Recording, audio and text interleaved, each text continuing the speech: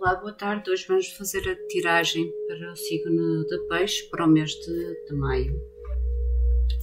Eu vou iniciar com os arcanos maiores e vou fazer uma mini roda astrológica. O tarot, o tarot que eu estou a utilizar é o, as lendas divinas e tenho o, três oráculos, os chakras, o Anjo do, dos Romances e o Guia dos Anjos. Eu vou dar início então à tiragem para o mês de maio para peixes.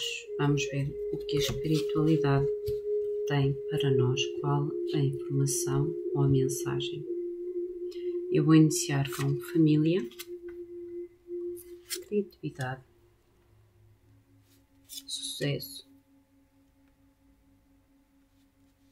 trabalho, prosperidade,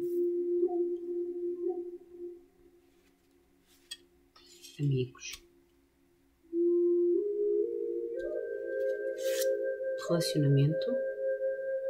E, por fim, espiritualidade. No centro, eu vou tirar o chakra a nível de saúde física, física uh, espiritual, porque os chakras trabalham também a nossa, o nosso mundo físico. Porque quando os nossos chakras não estão alinhados, nós, nós estamos doentes, nós sentimos dores, nós sentimos má disposição, nós estamos tristes, desmotivados. Vamos então ver qual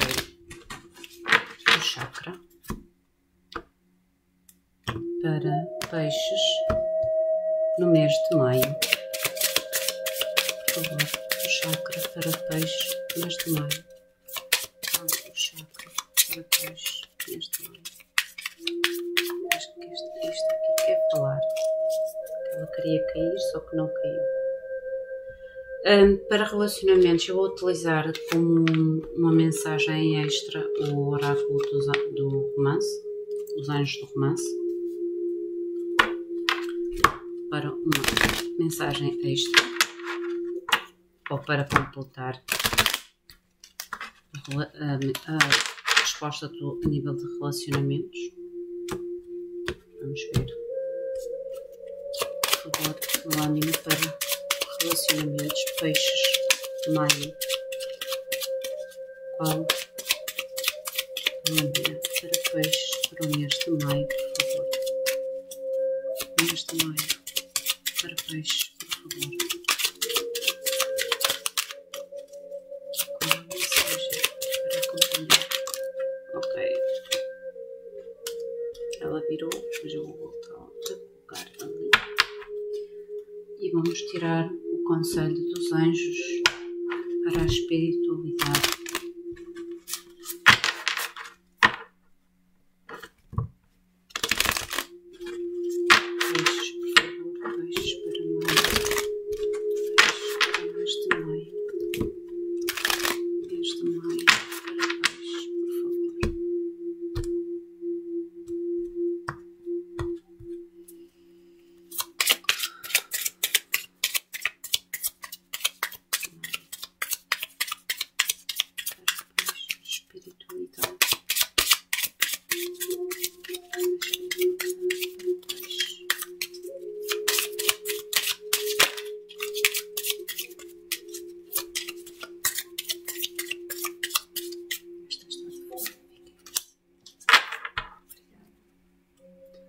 Então dar início à leitura. Vou só dar um pouco mais, baralhar um pouco mais os arcanos menores que nos vão dar uma clarificação aos arcanos maiores para cada posição.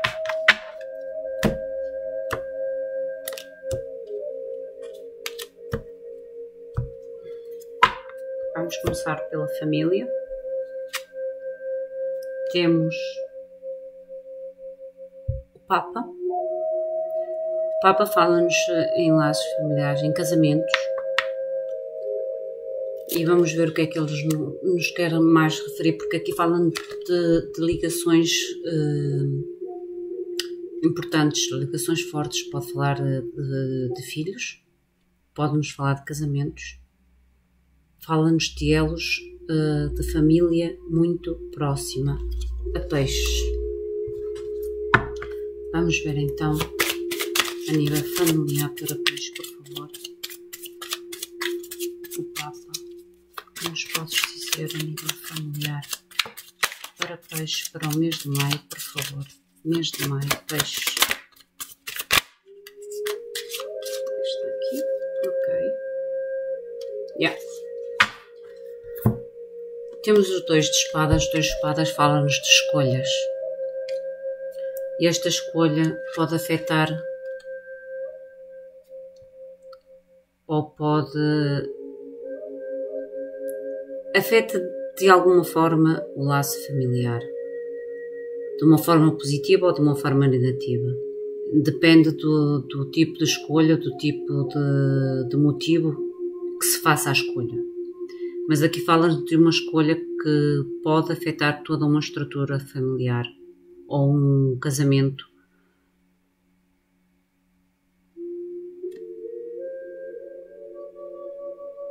O peixe no mês de maio tem uma escolha importante a fazer a nível familiar ou a nível de quando são casados, a nível do, do casamento.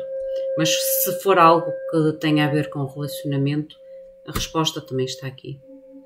Temos aqui a parte do relacionamento que nos vai completar uh, o lado familiar, porque eu acho que aqui a minha intuição é que tem a ver com, com casamentos.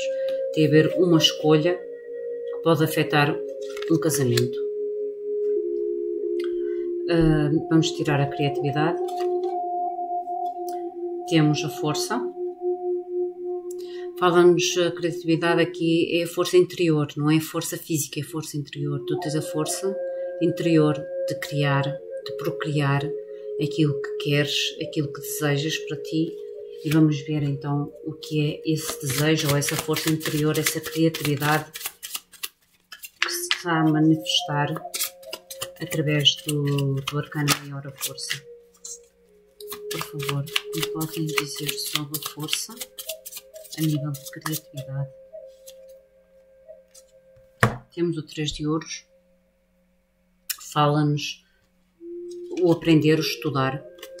O 3 de ouros aqui fala em estudar um, aquilo que queres criar, aquilo, a motivação, o, a ideia que tu tens aqui pede que uh, podes precisar de alargar os teus conhecimentos através de estudos, através de buscas, através de outros conhecimentos, de, de mais conhecimentos sobre aquilo que queres criar ou pensas em ou nesta ideia que tu neste momento tens um, tenta buscar mais, pesquisar mais uh, sobre aquilo que realmente queres aprender, a, a, ideia que tu tens, o objetivo que tu tens, ou a criatividade, ou aquilo que queres criar uh, neste momento, porque tu tens a força interior para isso. Um, agora vou ver a nível de, de trabalho. Temos a torre a torre fala-nos em mudanças drásticas, mudanças que a gente não está à espera. No trabalho pode-nos uh, falar em, em, um despedimento, mas neste momento as coisas estão tão complicadas que hum, muitas firmas são obrigadas ou estão a saber obrigadas a fazer os despedimentos. Aqui também fala-nos de que podes ser tu uh, a pedir esse despedimento, uh, a autodespedir-te, mas vamos ver que é que se trata, mais profundamente, a nível de trabalho, por favor, para peixes no mês de maio, por favor.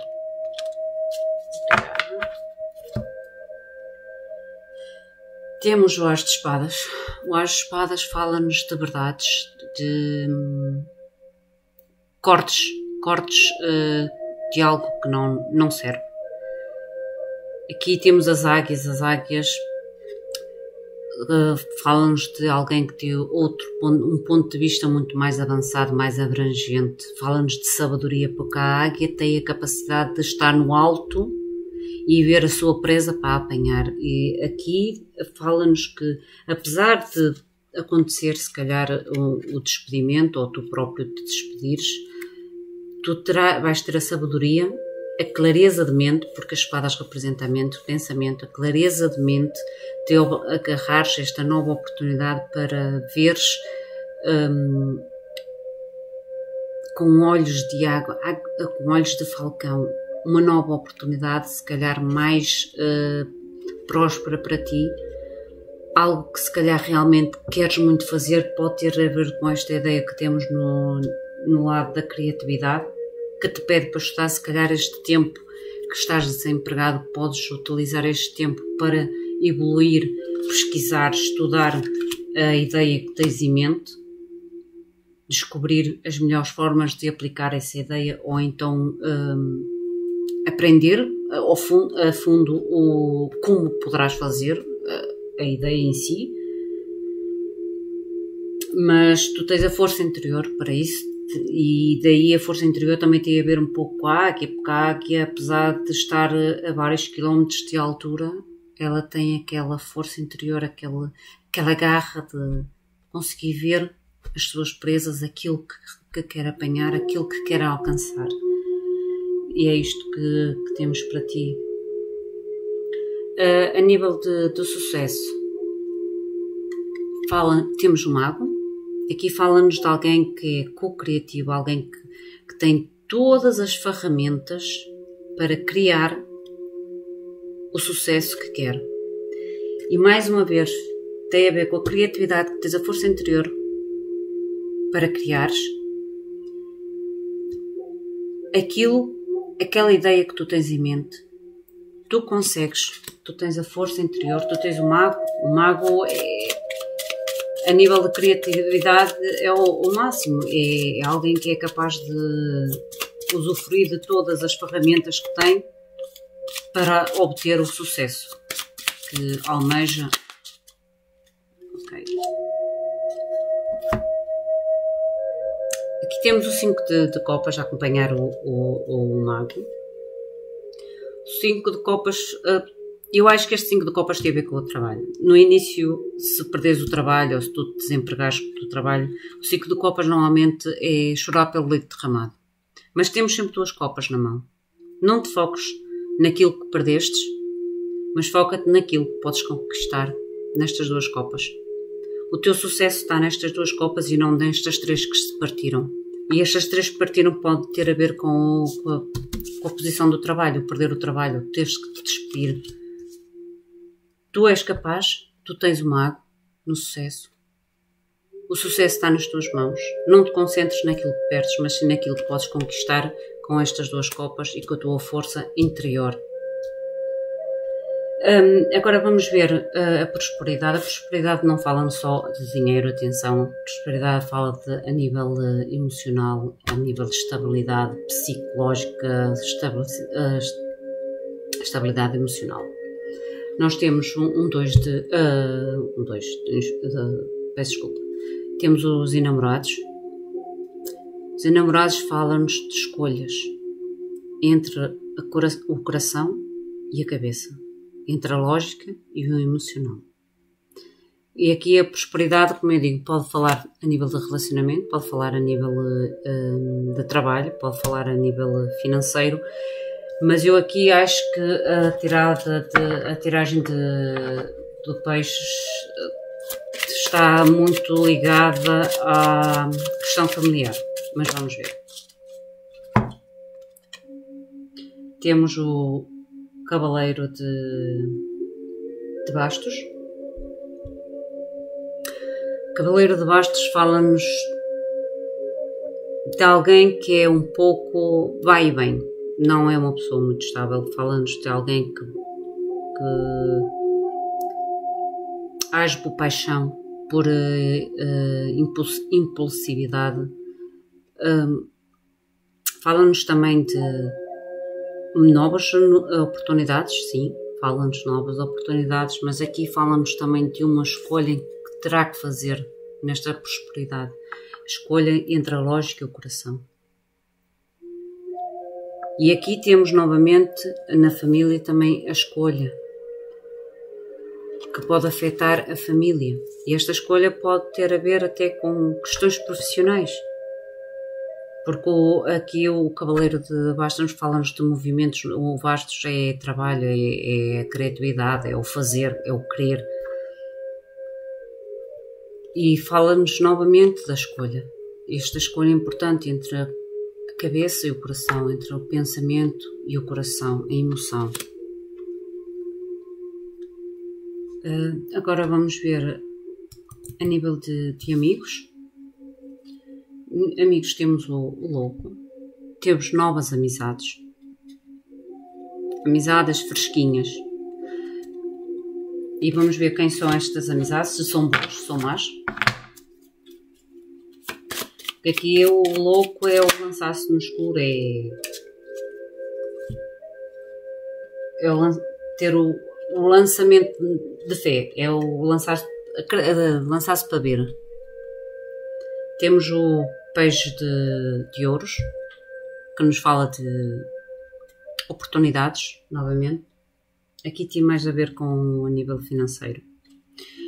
Aqui pode-nos dizer que, eh, de, de, a nível de amigos, que através de amigos, de novos amigos, de novas uh, uh, pessoas que irás conhecer, poderás uh, ter a oportunidade de, ter uma algo mais estável, uma oportunidade mais estável, apesar de ser uma oportunidade que se calhar não é assim muito grande, é, é estável, é uma coisa estável, porque terra fala-nos de estabilidade,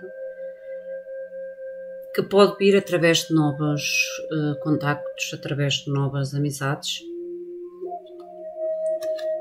Tens que estar atento quais as propostas, quais as novas oportunidades, os novos amigos, o que te terão, o te trarão no futuro.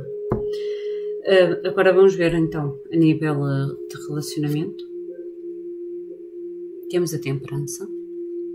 Temperança fala-nos em equilíbrio. Aqui pede-nos equilíbrio no relacionamento. Balancear o que é importante, o que não é importante, o que pode deixar atrás, o que não pode. Por isso é que eu digo, eu acho que aqui, que, que, que a nível familiar hum, e a prosperidade, a prosperidade também tem, tem a ver, pode ter a ver e tem a ver com a nível familiar, fala-nos aqui de escolhas muito importantes que pode afetar a família, mas pede-nos equilíbrio, avaliação naquilo que realmente é importante. Foca-te naquilo que é realmente importante. Vamos ver o que nos têm a dizer os arcanos menores para completar a tirada do, dos relacionamentos. Por favor, para a temperança. Mais um posso para a temperança, por favor. Para a temperança. Temos o rei de espadas. O Rei de Espadas é uma pessoa muito lógica, uma pessoa que avalia muito. Para tomar uma decisão, avalia todos os pontos. Avalia com moderação, não só com a mente, mas com o coração. Porque muitas vezes o, o Rei de Espadas pode se tornar uma pessoa muito fria, uma pessoa muito analítica que deixa o coração de parte. E daí o arcano maior ser a temperança. Não penses tanto com o coração, eh, tanto com a mente, com a cabeça, com a lógica, mas equilibra as tuas emoções com o coração também. Porque estamos a falar possivelmente de pessoas e mais uma vez o casamento, relacionamentos com filhos. E aqui diz: uh, a, tua, a tua vida amorosa uh, está a ser afetada por crianças. Aqui acho que esta escolha para o signo de peixe no mês de maio tem a ver, se calhar, com os filhos. A escolha, se calhar, um trabalho, uh, um novo trabalho que seja mais longe, ou, ou então até mesmo a perda do trabalho, ou lançar-se na nova ideia, que hoje aqui a ideia de criar algo novo. Uh, acho que, certa parte, faz com que a escolha seja difícil para o signo de, de peixe, para o mês de maio porque avalia muito ou pensa muito na situação familiar, uh, neste caso, uh, impossíveis filhos que a relação possa ter. Mas a temperança está aqui e diz, uh, avalia com moderação, com, não só com a, com a cabeça, com a lógica, mas sim com o coração. Há que ponderar todos os prós e os contras da decisão. O conselho espiritual temos o Imperador. E vou tirar uh, uma clarificação a nível espiritual para o Imperador, por favor, como podem dizer o Imperador a nível espiritual. O Imperador pode ser uma pessoa muito rígida. A nível espiritual, pode ser uma pessoa que esteja fechada à espiritualidade. Que é o que eu acho aqui. Acho que aqui o, o, Peixes Uh, apesar de ser, uh, os peixes normalmente são pessoas muito intuitivas, eu acho que aqui o, o imperador a nível espiritual pode nos falar de alguém que um ateu, alguém que não acredita muito na espiritualidade, alguém que é fechado à espiritualidade. Porque normalmente o, o, o imperador são pessoas que gostam de ter a última palavra e a espiritualidade aqui diz a partir do momento em que tu aceites a espiritualidade na tua vida, que não sejas tu a dar a última palavra, mas deixares a espiritualidade dar a última palavra, tu tens uma excelente oportunidade no teu caminho. O ouro, o As de Ouros fala-nos em uma prosperidade a todos os níveis, familiar, monetária, saúde a todos os níveis. Mas basta que tu deixes de querer ter a última palavra e dares a última palavra ao universo, à espiritualidade. E vamos ver qual é o conselho do anjo. Temos o anjo. Pede e diz-nos: Pede a nossa ajuda na tua situação e nós vamos imediatamente trabalhar e te ajudar. Nós governamos todas as leis universais.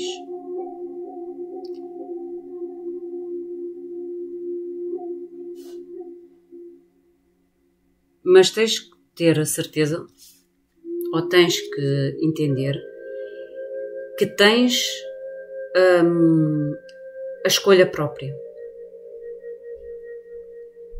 para fazer as tuas decisões ou escolhas. Nós apenas esperamos pacientemente pelos teus pedidos. O que é que, te, o que, é que eu disse? Eu acho que aqui esta, o, o peixe que estamos a falar para o mês de, de maio é alguém que quer ter a última palavra, não, não dá muito valor à, à, à espiritualidade.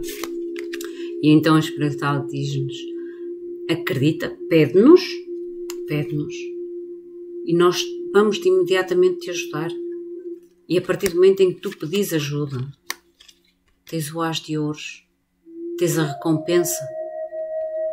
Liberta-te de, de, tudo aquilo que te está a bloquear a nível espiritual, espiritual e pede com o coração ajuda e vais obter aquilo a ajuda que precisas, porque eh, a espiritualidade diz aqui: nós vamos imediatamente te ajudar, mas a escolha é tua.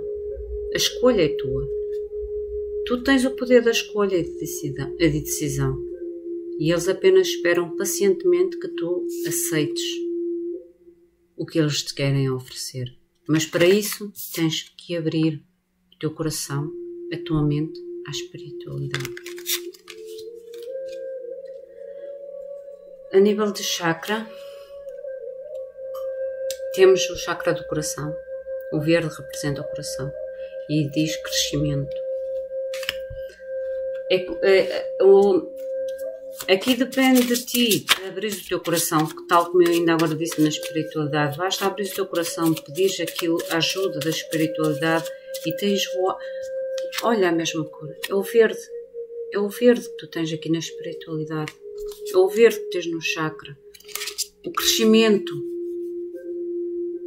algo novo, a prosperidade que tanto desejas. Basta abrir o coração. É o que te diz a espiritualidade. Por favor, para o chakra, como podem dizer para o crescimento? Qual a mensagem para peixe, para maio? Ou uma oportunidade. Uma oportunidade que de certeza irás gostar porque o Rei de Copas representa uh, a, a emoção. A emoção. É fazer algo com emoção, é receber algo com emoção. E este crescimento possivelmente vai-te trazer uma emoção, um preenchimento muito maior. Mas para isso vais ter que deixar que a espiritualidade te ajude, trabalhe contigo para que torne a tua decisão mais fácil. Esta é tirada para o mês de maio para peixe. Aqui eu vou escrever por tudo que está aqui é a oportunidade. Abre o teu coração para a oportunidade. Obrigada.